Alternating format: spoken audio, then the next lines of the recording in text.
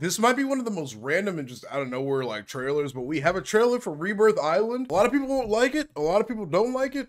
Let's take a look at it. Look at that. Look at that beautiful island. Oh baby. Uh we we are about to cook. We're about to cook. What is this music? I like it. I mean this music is great. yep, there's the water tower. Can I just say these helicopters in this game are just not good. We we need better helicopters. These things suck.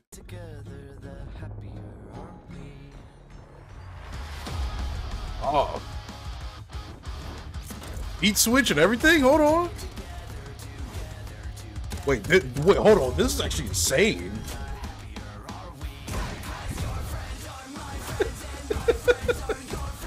Oh man, it brings back memories seeing all these POIs. That's a robot skin. It's a robot skin. Please tell me we're getting a jetpack game mode. There's the inner part of prison.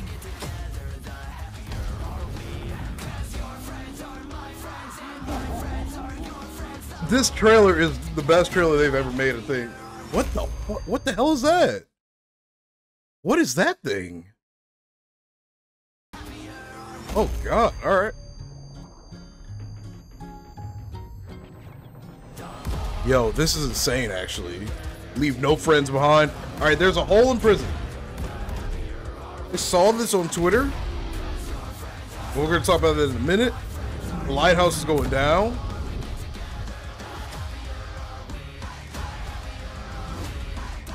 Wait, wait a minute, hold on. This is a really well done trailer for Call of Duty. This is the most creative trailer I think they've ever done. Oh yeah, the lighthouse creates a new walkway up into prison now. Okay, that was the music. I don't know why that reminded me of like of like a game like Metro Exodus for some reason because it's just such a weirdly happy song for uh, a depressing time. I don't know. Uh, let's talk about the hole in prison. So, from what I'm understanding, what a lot of people seem to be speculating is Rebirth will be returning. In addition to having a couple of new buildings, swimming, and so forth, there will be destructible POIs, meaning the hole is not apparently permanent on, on the roof. Now, I joked about the fact that they find it necessary to put a hole literally in every map they seem to bring back. They always want to put a hole in it, which I don't really understand the obsession with putting a giant crater in the center of every map they bring back or release or whatever. It went from being a joke to kind of dead ass. Like they they literally just keep doing this with every map. But apparently, with this map, the giant hole is uh, it, it's not permanently there. Same with Lighthouse. Apparently, Lighthouse will be destructible. That's what I'm seeing on social media. Seeing a couple of people in the Call of Duty scene like kind of assume that's what's going to be the case. It doesn't look like these ma- this map is going to be just full on destroyed like 80% of the time but it looks like it'll be optional or you could do something to kind of influence the design of the map. Similar to like how battlefield has destructible environments. Maybe that's what they're going for? I hope so. Other than that it's rebirth. I didn't really see anything like special or unique.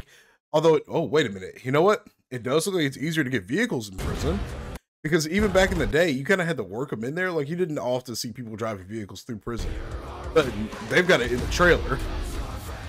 Okay we got those water vehicles back those water vehicles are on every map, though. But they'll definitely be on Rebirth.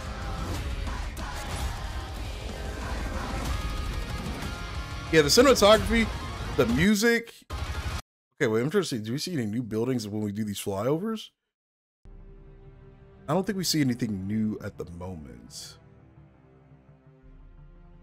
Yeah, we got to look at these like flyovers just a tiny bit more, just see if we see like any like new buildings, new locations. Now again, don't forget you'll be able to swim in this. There's a uh, control. There's this whole little warehouse area. I always forget what this is called. I always forget what these two buildings are called, but I, I remember this play. Or this is a control. Um, bloody hell! It, it's why did I say bloody hell? It's been a minute since I've actually played this map. Well, I gotta rethink of the names of the POIs and stuff again.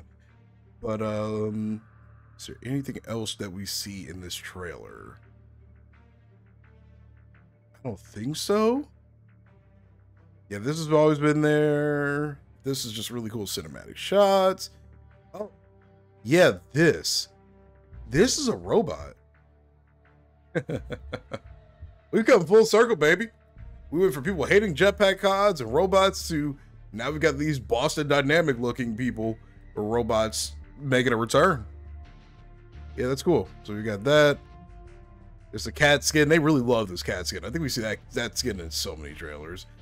Is this a new one? Or is it the same one? I don't know. I don't really care for skins too much because I can't see them. Uh, was there anything else unique here? I don't think so. But oh yeah, but the, the demon bunny. this is gonna be the new sweat skin. It's either gonna be the new sweat skin or the new bot skin or the new shit talker skin. It's gonna be one of those three. No in between. And oh, it is interesting seeing vehicles on the roof. Yeah, you can actually get vehicles up there now, probably because of the new uh, path the lighthouse creates when it slams into prison.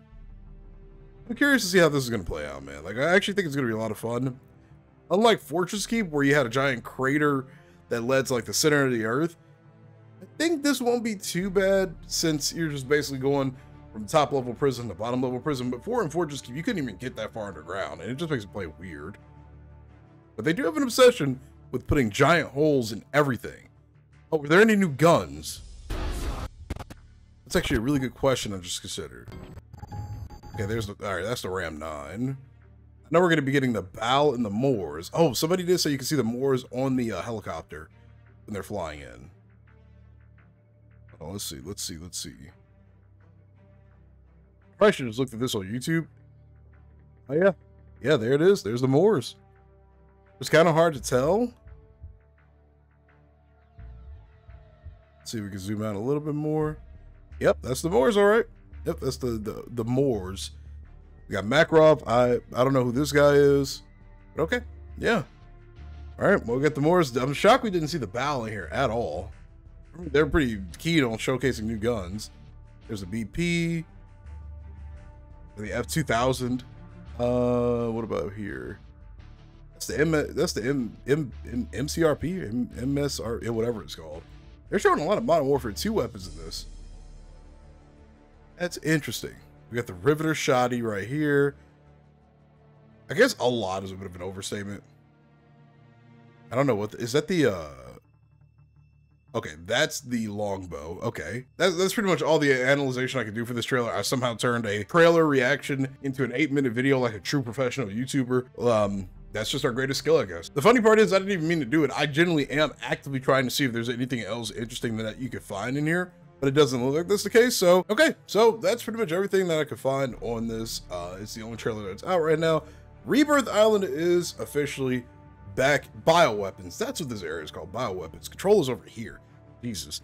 Uh, I honestly used to just call this industry. All this is just industry. Like, I, I guess you could call this chemical, but I call this industry during the entirety of regular uh, Rebirth. Okay, Rebirth is back. Let me know what you thought about the trailer in the comments down below, guys. Thanks for watching. If you enjoyed this video, be sure to leave a like button, subscribe to the channel. I'm sorry I turned a two-minute trailer into an eight-minute video. Did not mean to do that, honestly, but it is kind of fun just breaking down and analyzing trailers a little bit. So I'm going to be doing more of that in the future. Thanks for watching. I'll see you in the next video. Have a great day. Peace.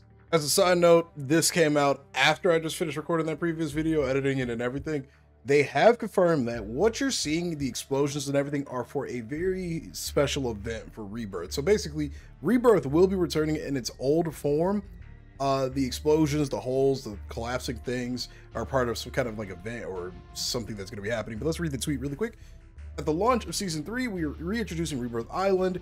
While a number of gameplay updates and visual polish have been made, this version of Rebirth stays true to the original experience our players know and love. Later into the season, we will have a rare chance to encounter infill strikes. These are a set of dynamic events that will alter one of three possible POIs at random at the start of every match. Um, while the majority of matches will remain unaffected, these strikes provide a rare yet unique spin on rotation and traversal opportunities. For more information, keep an eye out for the announcement blog and patch notes coming next week. All right, all right, that that that's cool. That that's really that's a really really cool explanation for the whole thing. I'm glad we're not just getting Rebirth Island with a giant crater in the center after all.